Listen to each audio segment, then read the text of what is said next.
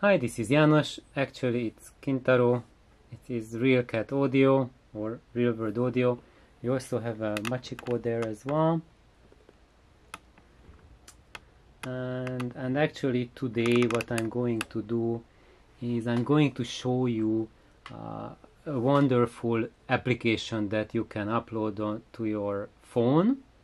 It's it's a free tool and and it's bas basically an oscilloscope for your phone so you can visualize sound with it and uh, do things. So here I'm showing you my phone. Let, let's focus on it. And and the app is called Sonic Tools.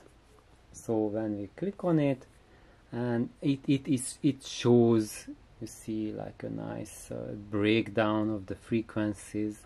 So basically what it does it analyzes the sound that comes to the microphone input of the phone and uh, breaks it down to its sound spectrum.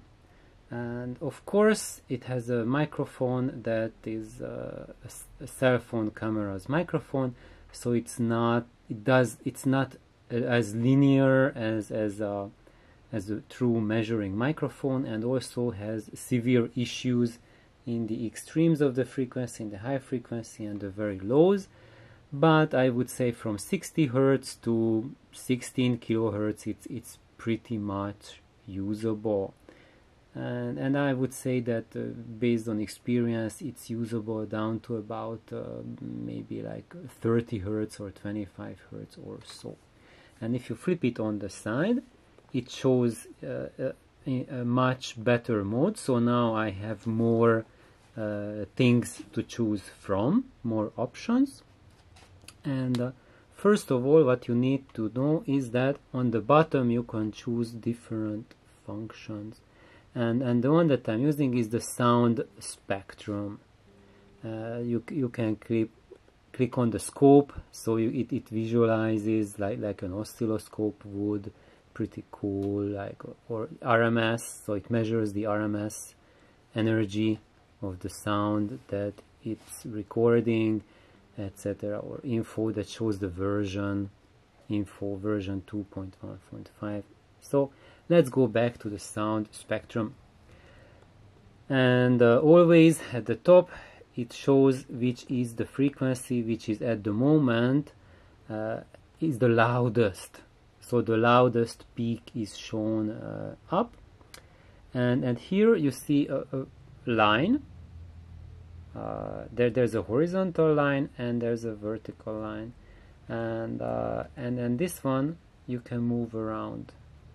And wherever you move it it will stop at a certain frequency. It will show the frequency there. So it's 1218 hertz.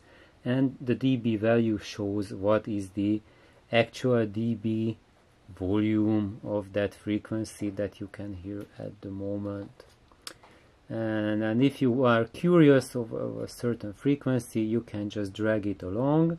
And that white line shows that the energy at that frequency that we have selected. So that's a cool tool.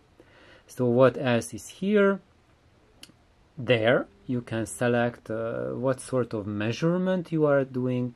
Now it says RTA 112 so it means that it's a 12 112 octave smoothing. So when it uh, analyzes the sound it puts the collected energy of the sound frequencies into bins. And each bin has a certain width. Now you see that it's it's really tiny so you have loads of lines. And exactly we have 12 lines per each octave. So we can change it. So if you you hit you it also has like a spectrogram mode uh, FFT, which is like a fast Fourier transform. So now it doesn't put things into bins, just tries to show the actual frequencies. And usually in FFT mode, you often get a very different picture uh, than uh, compared to putting things in bins. Uh, RTA mode, so now you see there's uh, only very few lines present we have one bin per octave and now we can go like uh, three bins per octave. This is RT, RTA one third, so it, it's kind of like uh, uh, what you would see when when you see loudspeaker measurements and they said like a third octave smoothing. Then this is the resolution that you are getting there. And right now you see those uh, bins coming up and down.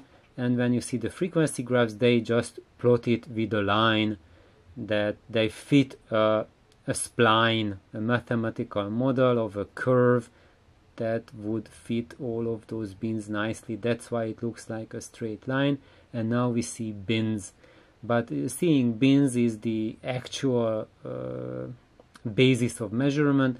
How you fill it out with lines, that's not accurate. This is something much more accurate than showing it with lines. But as you see it's pretty crude. So a one third octave smoothing is something really crude. And this is a one sixth octave smoothing. Now we see twice as much and we can bump it up to 12 octave smoothing. Now we actually get uh, quite a lot of information from here. And also this has a, a very nice very cool feature. It's, it's called peak hold and when you click there then what it does it it records uh, the peaks. So the loudest volume belonging to a certain frequency will stay there in that grayish bluish color in the background. So if i go up you see all those peaks stay there. So this is really really nice really cool and and you can do all sorts of experiments with it. So for example you can listen to music and hit the peak hold and then you it will register for you what was the loudest volume that that it recorded at each frequency. So um, of course this thing doesn't have a calibrated microphone so when it tells you that it let's say it's 60 dB in real life it might be 55 dB or 70 dB uh, plus and minus 15 dB it can be really anything because this is not a calibrated tool. However the dB scale is uh, uh, is basically it, it's a comparison. So while the actual dB for a certain value might not be uh, what what a calibrated microphone would show you but it will give you the relationship between two loudness figures pretty accurately anyway. So you don't need a calibrated measurement tool to make uh, educated guesses or to help you learn uh, where each of the frequencies are. So if you are listening to musical notes like ah and then you go ah so you can see the differences in the spectrum and and you you can uh, you can use it as a learning tool the, how what's going on when you hear sounds uh, uh, you can use it when you are visualizing the output from your loudspeaker what happens when you when you place it at different positions like uh, uh different places in your room when you are measuring how does the the bass uh, change and you can look for room modes going around your room. And of course i will get a million comments saying that uh, you you have like much more complicated apps that can automatically do that for you. Yes of course. However this video is not about those apps. This video is about this extremely simple free app that anyone can download on their phone and have fun with it. And and and it's a great way to learn the basics of what this thing is and what it can do for you. And and if you like it then you can uh, upgrade for uh, for more sophisticated software. But as those of will will tell you who are professional uh, sound engineers they can tell you that uh, if you are used to professional measuring tools then even a simple phone app will uh, tell you basically most of the things that you need to know and, and it will be useful for you. And that thing that it's not calibrated so the dB scale is not accurate who the um, cares? Because uh, what you want to do is just to carry your phone around with you. You can whip it up anywhere and uh, what it measures in one place is comparable to what it measures in another place.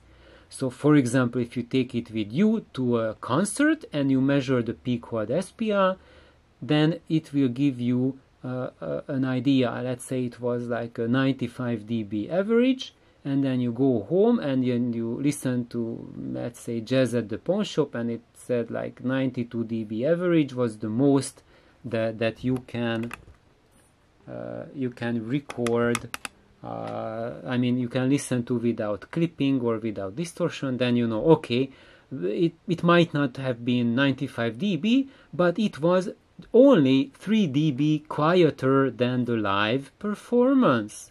And then you can gauge it. Oh okay that's that's about roughly the same magnitude as as the live event versus listening to it and you record let's say like 65 dB level then you know that it's very different. So it's a great learning tool that helps you to learn what is uh, quiet music how does it behave what is the uh, background noise level in your room. You will notice that it's not just like 28 dB or 25 but it's drastically different as you go uh, for and look for different frequencies the noise floor is very different at 30 hertz compared to 18 kilohertz.